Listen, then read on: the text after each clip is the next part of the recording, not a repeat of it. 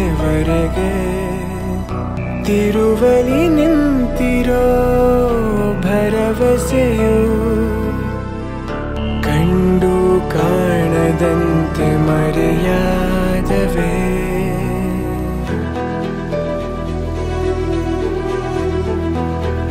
ದುಡ್ಯಾಕ ಅವರ ಹೊರಗೆ ಇಡ್ತೀರಾ ಅಪ್ಪನ್ಗೆ ಅವ್ರಿಗೂ ವಯಸ್ಸಾಯ್ತಲ್ವಾ?